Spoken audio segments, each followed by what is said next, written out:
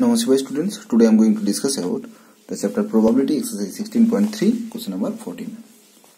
So given probability of A equals to 3 by 5 and probability of B equals to 1 by 5. Find probability of A or B if A and B are mutually exclusive events.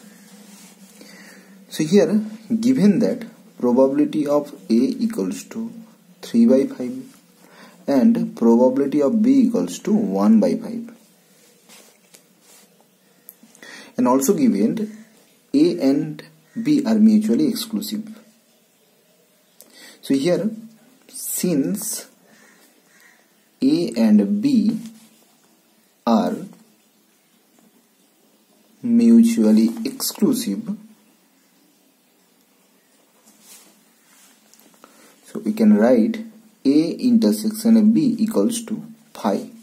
So now probability of A intersection B equals to 0. So now we have to find probability of A or B. So here probability of A or B equals to probability of A union B.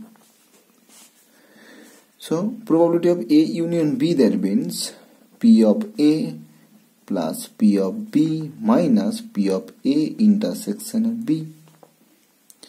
So here P of A is 3 by 5 plus P of B that means 1 by 5 minus P of A intersection B that means 0.